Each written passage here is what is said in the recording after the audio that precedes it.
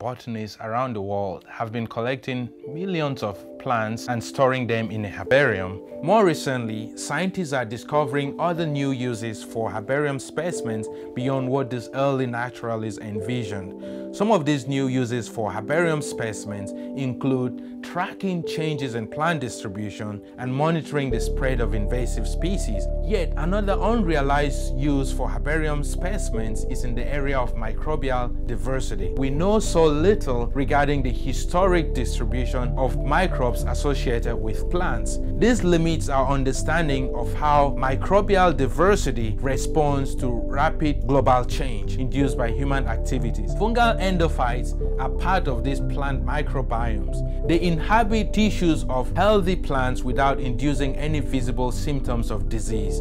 Fungal endophytes play key crucial roles for plants, including the promotion of plant growth and plant protection from herbivores. However, no studies have explored the historic distribution of microbes associated with plants in the marine realm. Our research proposes to use pressed herbarium specimens of marine flowering plants as sources of big data for microbial diversity. To do this will involve analyzing the diversity of fungal endophytes associated with pressed herbarium leaves of marine plants spanning the last 200 years for all seagrasses and mangroves of North America. To achieve this, we will collect small leaf tissues from herbarium specimens, use next-generation sequencing, use cloud-scale genomics and machine learning algorithms to identify the diversity of endophytes associated with marine plants. This will enable us to gain novel insights into microbial diversity.